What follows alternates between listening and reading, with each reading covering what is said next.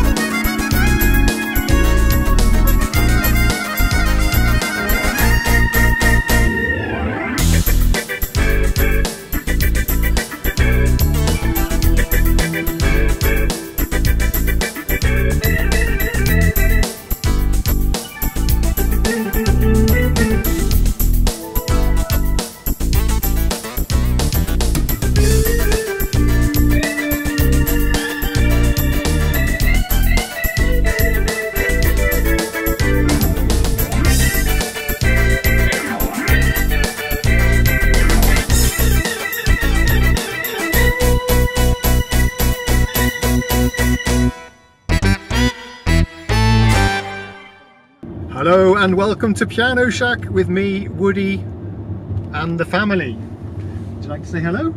Hello. Rest of the family? Hello, hello.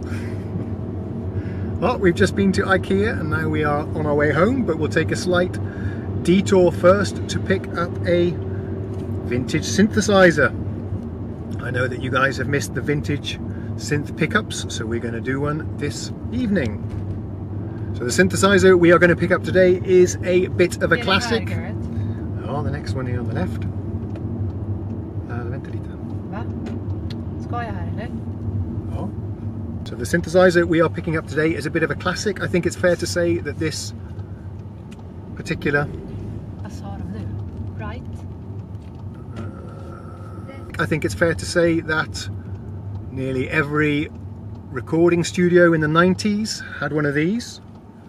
And you've heard it on countless hit records, TV shows, and movies.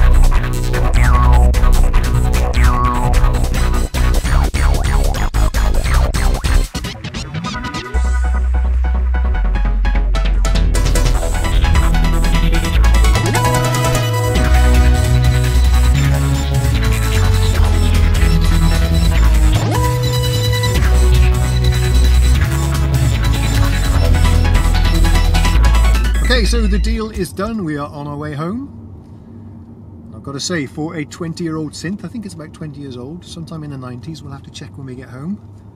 It still sounded really, really good.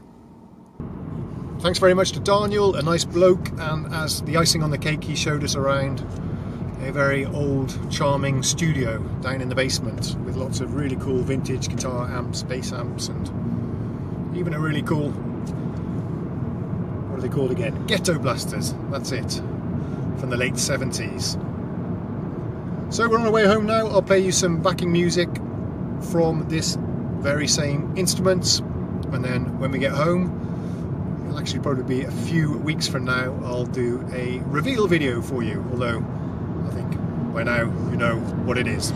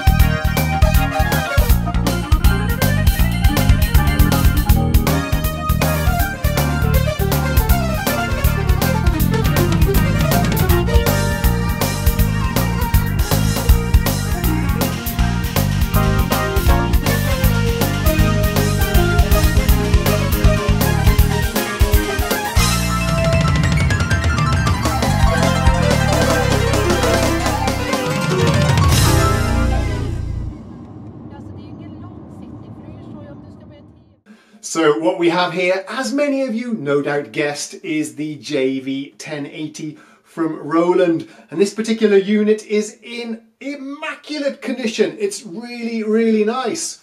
It's probably lived in a rack for most of its life. These rack units don't get as beat up as the keyboard units. But anyway, let me give you a few close-up shots of this one. All that I know about this unit is that it's from 1994 and it was hugely popular, widespread in recording studios and used in many a music, film and TV production. But I don't know much more than that. Why don't we go over to the computer and check what this thing is all about? Right, let's see what comes up on Google then. Let's take Vintage Synth Explorer to begin with. There it is. What do we have to say about this? The JV1080 was one of the hottest and most popular digital synthesizers ever to come from Roland. What was I telling you? Incredible sound quality, capable of emulating any instrument imaginable, plus totally fat analog synth type sounds and loads of percussion. 64 voices of polyphony, 16 part multi timbral. It's no wonder that this is every part of almost every film score composer's setup, as well as many more artists and hobbyists. Hobbyists, that's me. So, 8 megabytes of sounds. Sounds, that's not much by today's standards, but it does sound great, as you'll hear.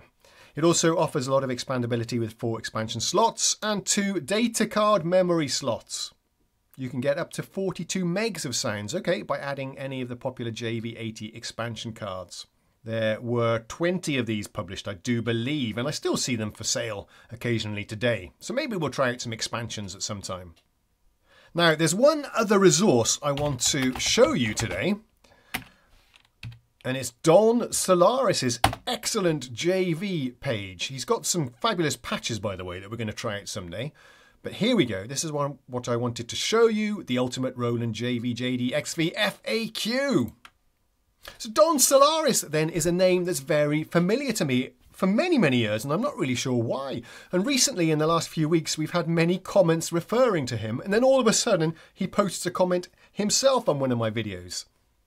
Now, I've stumbled across this rather excellent resource that he's written about this series of synths. So every technical detail you possibly wanted to know about sample rates and DACs is on this page. Let's scroll through it and just see what catches our attention. JD versus XV series. We've got a nice family tree here that we'll take a look at in a second. Let's carry on down. I want you to go and read this page yourself if you're an owner of one of these instruments. There I can see the 1080 there. There has been a lot of talk about the difference in sound within units that should be based on the same engine, yeah. All the same sounds from the 1080 were included on the 2080, the 5080 and so on, but people do say that the 1080 sounds best. Why might that be? The 1080 has a 32 kilohertz sample rate, so not even CD quality, but the DACs were 18 bits. And here you, you can actually see which chip it was that did the conversions. Very interesting. JVXP use a destructive form of wave compression. Yes, the samples on the ROM are compressed, and it's actually an MP3 style according to Don here. Some people claim they can hear the difference of JV1080 versus 2080. Well, if we ever get them both in the shack, I'll do that test for you. Compatibility, some notes here about that. The patches, this might be interesting. JV1080 contains some of the JV80 patches. JV2080 contains all of the JV1080 patches plus a bank of additional ones. XV5080 and 3080 contain all of the 2080 patches, blah, blah, blah. What I've noticed is that all the way up through the lineage, all the way to the Integra that I have, we still have the 1080 core sounds, which is pretty fabulous, I think. Where is this family tree that I'm looking for? Here we go. This I think you might find interesting. Let's find the 1080 here. There it is in the middle, and that's derived from the JV90.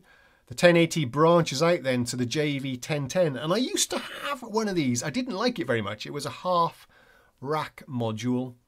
I used it in a blues band, and I was very disappointed with the Rhodes and the piano sounds. And then the Nord Electro was launched, and I never looked back. I was triggering it from a Nord lead as well. That was my blues band setup. A Nord lead triggering a 1010.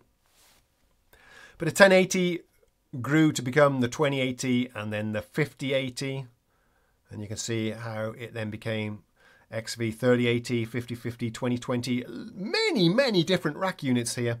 And this branch here shows the keyboard models. I remember having serious case of gas for the XP30 when that one came out. The Integra isn't shown on this list, but it would be under this box, I presume. Okay, a few notes about the timeline. What does Don say here about the 1080? A huge step forward for Roland. This was the most popular module of the 90s. New filters, voice structures, 448 waveforms. Interesting. Matrix control, new features. The 1010, which I said I had, was the 1080 and a half rack module, session patches included, so it had more sounds than my 1080. Super JV has a filter from the JD series, okay. People claim it sounds better based on a far superior RISC processor. This is interesting stuff. I'm going to read this word for word a little bit later, but now I want to move on so then, what are my plans for the 1080? Well, I have a few ideas that I want to share with you. Firstly, of course, it's inevitable. We'll do the comparison of this against the Roland Cloud JV 1080 VST. Also, why don't we do a comparison of this, a 20 year old JV, with this, my five year old Ugh! Integra 7. Just how far has synth technology come in 20 years? I think that will be very interesting. Of course, we'll make some music with both of these as well, perhaps using this. That one there. It might be interesting to do some Ableton Launchpad stuff, but using hardware. Finally then, I've got a nice idea that I want to share with you for a new series of videos. These two are rack synthesizers, as you can see. Now, I've told you before, I don't have space to have a rig of keyboard synthesizers in my home, at least not connected together all the time. But I could probably squeeze in a rack full of vintage rack synthesizers. Yes, Espen Kraft is to blame for this. He inspired me to get back into hardware synthesizers. And a lot of these rack synths from the 90s and the noughties are really good value for money these days. So expect to see a lot more of that on this channel. Something along the lines of Woody's rack of cheap synths. But that's it for today. Hope you enjoyed the pickup and seeing some new hardware on the channel. Much more to come. Please remember to like, share, subscribe. Thank you if you already have. And I'll see you again soon. Cheerio.